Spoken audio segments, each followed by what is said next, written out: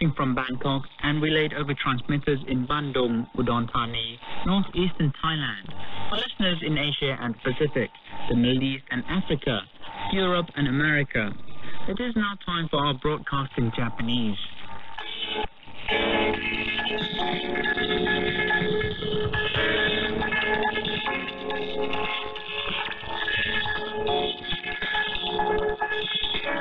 Thank ラジオタイランドの日本語放送です。この放送はフロンタニ県バーンルンのボイスオブアメリカの送信所を通じてお送りしています。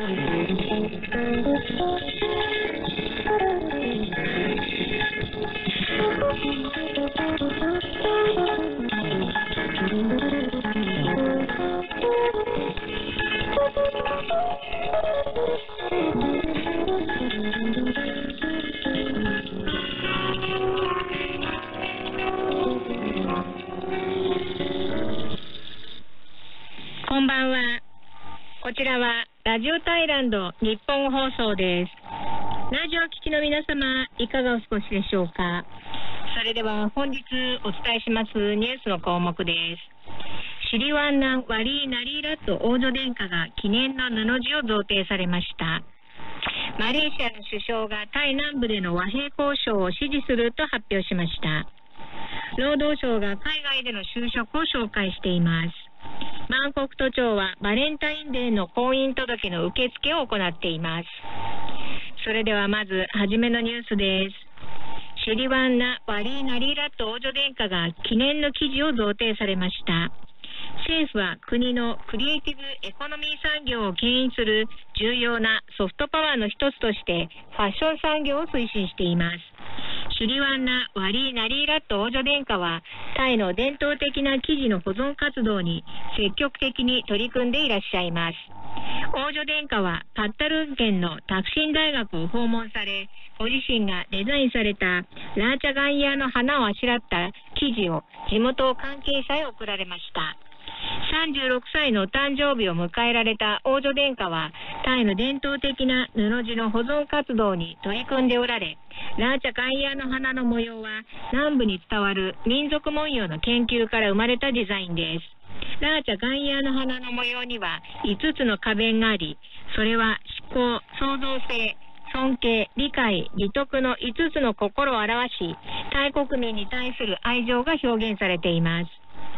王女殿下のイニシャル S もデザインされ、ご自身のイニシャルとタイの手工芸を復活させた祖母であるシリキッド王太后陛下の大きな志を表現しています。王女殿下はパッタルン県の地域振興開発センターが主催するタイの布製品や伝統的なヨクタニ織などの手工芸品の展示会も視察されました。ヨクタニ織はラチャパット大学とバンマイケン織物グループとが共同でマレー半島の遺産であるヨクタニ織を復元したものです。展示会では南部14県の伝統的な独自の柄の織物などが展示されています。今回の展示には南部14県から50以上の団体が参加し、シリワンナ・ワリー・ナリラット王女のアドバイスに耳を傾けました。王女殿下は伝統的な布を現代的なものに変え、商品開発し、年齢や性別に関係なく着られるようデザインを変えるべきだと提案しています。展示会ではファッションの専門家によるパネルディスカッションも行われました。外務省の事務次官は王女殿下がシリキッド王太后陛下のご活動を引き継ぎ、タイ人が先祖から受け継いだ知恵、アイデンティティ、技術を発展させ、住民のキャリアと収入アップにつながるとして称賛しています。外務省でも生地生産農家のスキルを継続的に促進し、開発するためのガイドラインとしてロイヤルプロジェクトを導入し、コミュニティによって作られた手工芸品の展示や販売、マーケティングの支援など、幅広い支援により、タイの布製品のさらなる発展と拡大を進めていきます。次のニュースです。マレーシアの首相がタイ南部での和平交渉を支持すると発表しました。マレーシアのアンワル首相は、タイの南部地域で長年続いている反政府による混乱の平和的解決のため、タイを支援することを約束しました。バンコクを公式訪問しているアンワル首相は、タイ南部の反政府によるテロ活動は、タイ国内の問題だが、国境を接しているマレーシアは、紛争の平和的解決に全力を尽くすと強調しました。プライト首相は、マレーシアの協力に感謝を表明し、マレーシア政府が提供するいかなる支援も混乱の続く南部地域の問題解決に大きく役立つと期待しています。また、マレーシアが協力すれば交渉の成功が見込まれ、両国の経済成長と接続の改善につながると指摘しました。パッタニー県、ナラティワート県、ヤラー県の南端3県では、2004年以降、治安が悪化した状態が続いており、これまでに軍や警察、一般市民など、合わせて7300人以上が犠牲となっています。マレーシアと国境を接する南端3県は、仏教国のタイにありながら、住民の多くがイスラム教徒で、マレー語の方言を話すため、タイ行政との意思疎通も難しく、タイ国内で最も貧しい地域となっています。このため、タイからの独立を求める分離主義グループがテロ行為を行い、治安が悪化した状態が続いています。関係者の話によりますと、主要な反政勢力であるアリサン・レボルシー・ナショナルへ、タイ政府との協議に参加するよう呼びかけを試みましたが、まだ何の返答も得られていません。マレーシアはイスラム教の国であり、マレーシアの協力は南部の紛争解決に重要な鍵となっています。2013年以降、マレーシアはこれら分離主義グループとタイ政府との間に立ち、和平協議を支援してきました。新型コロナの感染拡大により和平交渉も2年間中断されていましたが、2022年に再開されています。次のニュースです。労働省が海外での就職を紹介しています。労働省は海外で働く前に9つの偶発的な事故やアクシデントをカバーするとして海外での労働支援基金に登録するよう呼びかけています。キャート労働大臣は海外に渡航するタイ人に海外で働くための保障の重要性を理解してもらいたいと述べています。労働大臣は海外で予期せぬ事態や緊急事態が発生した場合、基金に登録していれば以下の9つのケースで保護と給付が受けられるとしてタイを出発する前の登録を進めています。就職した渡航先で仕事がなく放置された場合、諸経費が負担されます。基金加入者がタイに帰国するために必要な交通費、宿泊費、食費、医療費など、1人当たり3万バートを上限に必要経費が支給されます。危険な事故に遭った場合、1人当たり3万バーツを超えない範囲で医療費の実費も支払われます。雇用や就業不能になった場合、1人につき1万5000バーツ、障害を負った場合、1人につき3万バーツの保証金、戦争、天災、疫病などで問題が発生した場合、1人につき1万5000バーツが支給されます。渡航前または帰国後に死亡した場合、3万バーツ、海外で死亡した場合、4万バーツ、および4万バーツを上限に葬儀費用の支給。基金加入者が海外で故意でない犯罪により起訴された場合、または業務上の不当な行為により発生した弁護士費用として10万バートを上限に保証することなどが明記されています。基金は任意に申請することができます。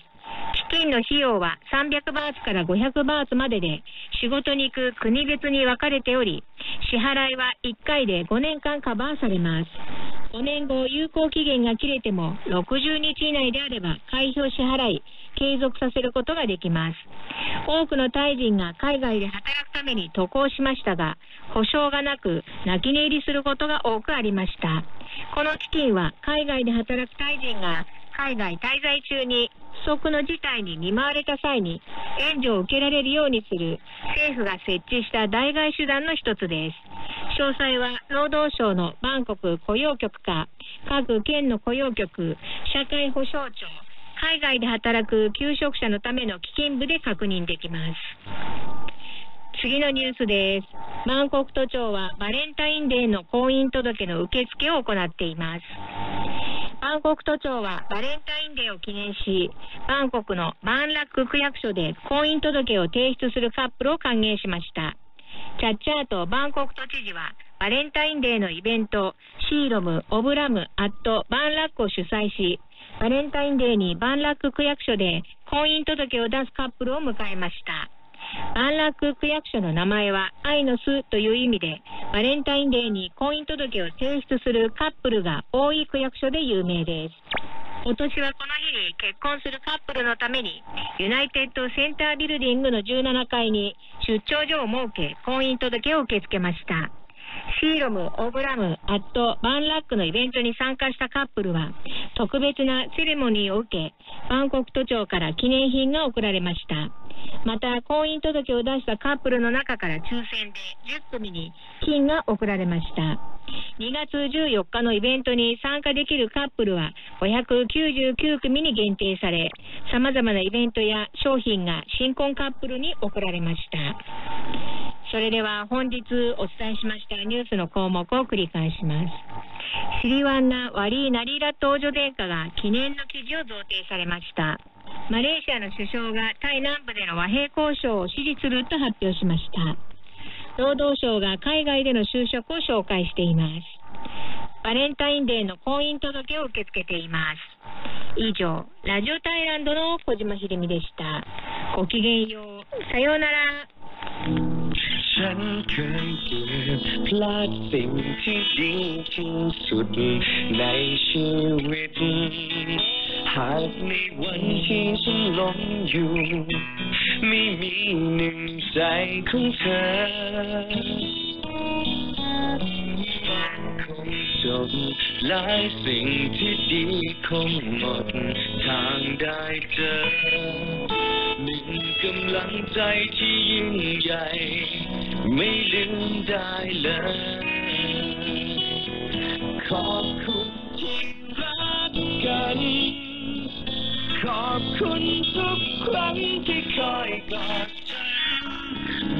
วันที่ปัญ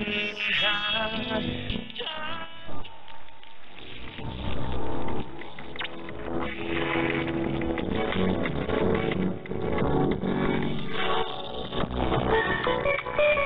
ラジオタイランドの日本語放送は毎日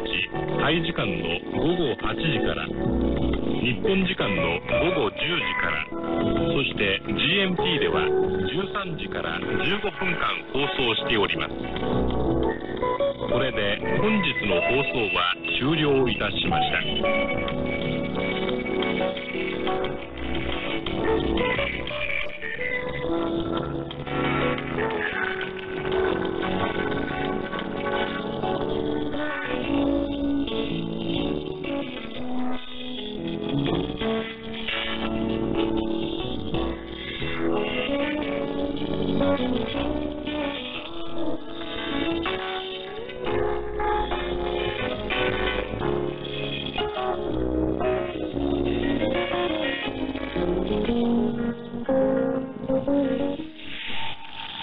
That concludes our broadcast in Japanese. This program can be heard from 2000 to 2015 Bangkok time or 1300 to 1315 GMT.